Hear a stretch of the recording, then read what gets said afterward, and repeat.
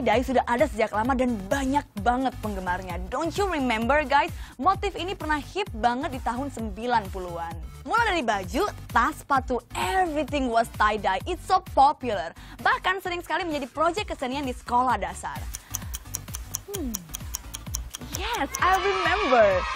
Awalnya tie-dye merupakan salah satu bentuk seni tekstil yang muncul pada era 70-an dan digemari oleh kaum hippies yang menyebut diri mereka flower generation. Sampai saat ini, tie-dye menjadi motif favorit para fashionista termasuk para hijabers di Indonesia. So you wanna play with colors?